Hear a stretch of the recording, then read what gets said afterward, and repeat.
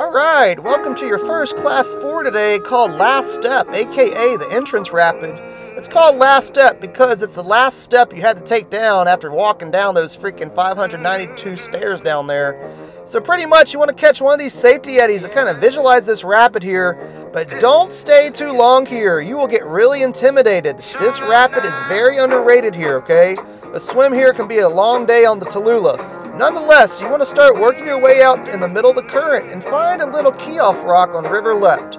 Water's barely going over it, and then go just to the right of it. And then you're going to get some speed to boof over this three-foot ledge drop here. Don't take this one lightly. And then after that boof, you're going to go in between these two rocks, or gates I like to call them. If you're in between that, you're in success. But get speed! Do not wait, because that pour over at the end is nasty. No speed here means a potential flip, and then all that current's typewriting you left right after that drop there. I've seen a lot of swimmers here, and a swim here can be very interesting.